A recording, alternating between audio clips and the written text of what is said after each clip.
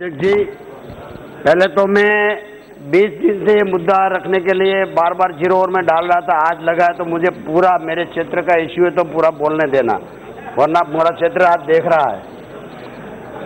अध्यक्ष जी, सर्वप्रथम मैं आपका धन्यवाद करता हूँ कि आपने मुझे इस मुद्दे उठाने का अवसर प्रदान किया।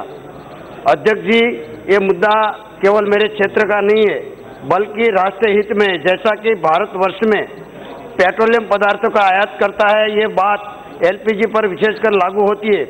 हमें अपनी घरेलू मांग की लगभग आधा हिस्सा आयात करनी पड़ती है।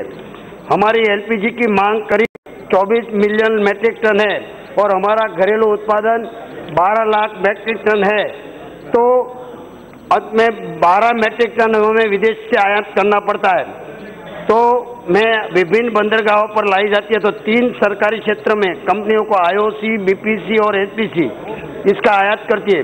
भारत सरकार ने एक स्कीम बनाई है डेजिग्नेटेड पोर्ट स्कीम चलाई गई हुई है जिनमें विभिन्न बंदरगाहों पर सरकार कंपनियों को इन को वित्तीय सहायता सब्सिडी देती है। तो अध्यक्ष जी मैं डेजिग्नेटेड पोर्ट सब्सिडी स्कीम में बाकी सभी मुख्य पोर्ट जैसे कि जैनपीटीसी कांडला बेंगलोर जैसे इत्यादि पोर्ट शामिल है। लेकिन हमारे संसदीय क्षेत्र गुजरात अमरेली स्थित पिपावा पोर्ट शामिल नहीं है। ये पोर्ट मेरे संसदीय क्षेत्र अमरेली में स्थित है तो अध्यक्ष जी इस विसंगता के कारण। तेल कंपनियों को अन्य पोर्ट का प्रयोग करती है जिसके लिए सरकार वित्तीय सहायता यानी सब्सिडी मिलती है। तो अध्यक्ष जी मैं आपके माध्यम से अनुरोध करता हूँ कि सबका साथ सबका विकास अंतर्गत सभी पोर्ट के लिए एक समान व्यवस्था की जाए। ये सब्सिडी पिपाओ पोर्ट के स्थित आयात संस्थान भी लागू की जाए।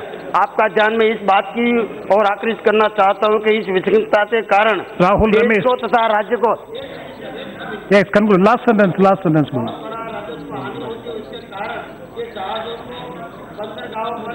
करनी पड़ती है और ऑयल कंपनियों को डैमरेज की अतिरिक्त भारी नुकसान करना पड़ता है। हमारा संसदीय क्षेत्र अमरेली एक कृषि आधारित जिला है। हमें पूरी उम्मीद है कि इस सरकार की शासन काल में हमारे जिला को पूर्ण विकास होगा। से मैं पूरे देश के कोस्टल एरिया में ज़्यादातर राहुल का रमेश। 1600 किलो